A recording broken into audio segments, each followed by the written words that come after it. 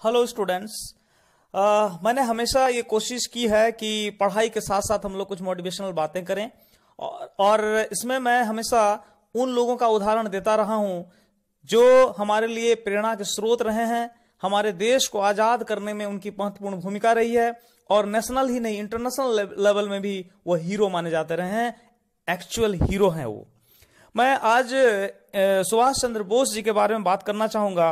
बहुत सारी बातें हम इनके बारे में जानते हैं, लेकिन इनके बारे में आज हम लोग कुछ विशेष बातें करेंगे, क्योंकि जब देश आज़ाद नहीं हुआ था, हमारे देश में ही हमारे जो बहुत सारे नेता थे, देश के अंदर ही ऑपरेशन करने में लगे हुए थे, आंदोलन का सहारा ले रहे थे, उस समय इन्होंने इंटरनेशनल लेवल पर अलायंसेस करना शुरू कर दिया। और इसलिए हम कह सकते हैं कि उनकी सोच कितनी दूर की थी। और इस आधार पर यह कहना बिल्कुल लाजमी होगा कि वो इंटेलेक्चुअल कितने थे जीनियस कितने थे विजनरी कितने थे, कितने बड़े इकोनॉमिस्ट थे ब्यूरोक्रेसी की समझ उनकी कितनी अच्छी थी सोशल सिविक्स की उनको कितनी अच्छी समझ थी, कितने बड़े डिप्लोमेट थे और जियो पार्टनरशिप की समझ उनको कितनी थी। वह दौर था सेकेंड वर्ल्ड वार का और सेकेंड वर्ल्ड वार में जर्मन इटली और जापान एक साथ मिलकर मित्र देश के रूप में लड़ रहे थे किसके खिलाफ? अंग्रेज़ों के खिलाफ। तो उन्होंने सोचा, क्यों ना हम जर्मन जाकर उस समय के बहुत बड़े तानाशाह हिटलर से मिलें और उसे मदद मांगे। तो उस समय हिटलर से मिलना कोई मामूली बात, आम बात नहीं थी। हिटलर के नाम से लोग डरते थे। उन्होंने ना केवल हिटलर से अपने इंटेलिजेंसी के बल पे मिला बल्कि उसे इन्फ्लुएंस करने में भी सफल रहे।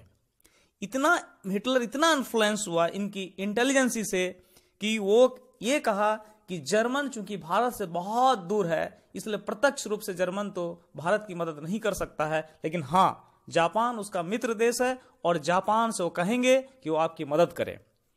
और इसलिए उसने अपनी प्राइवेट पनडुब्बी उनको दी, जो पानी के ऊपर भी और नीचे भी जा सकता था।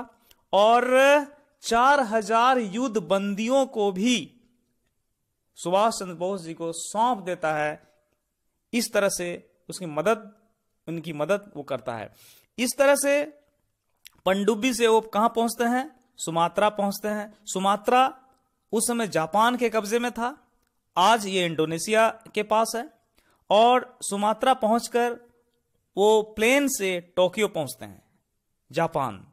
और जापान जब पहुँचते हैं तो वहाँ के प्राइम मिनिस्टर को भी इन्फ्लुएंस करने में सफल होते हैं।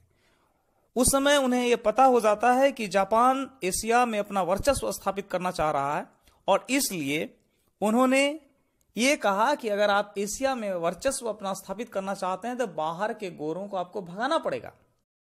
साथ ही वो जापानीज प्राइम मिनिस्टर को यह समझाने में भी सफल होते हैं कि आपका देश बौद्ध धर्मावलंबी को मानता है और भगवान बुद्ध की कर्मस्थली भारत रही है। इसलिए हम लोग मिलकर काम कर सकते हैं। और इसके लिए जापान के प्राइम मिनिस्टर इतने प्रभावित होते हैं कि वो अपने पार्लियामेंट में आकर अनाउंस करते हैं कि हमें सुभाष चंद्र बोस की मदद करनी चाहिए।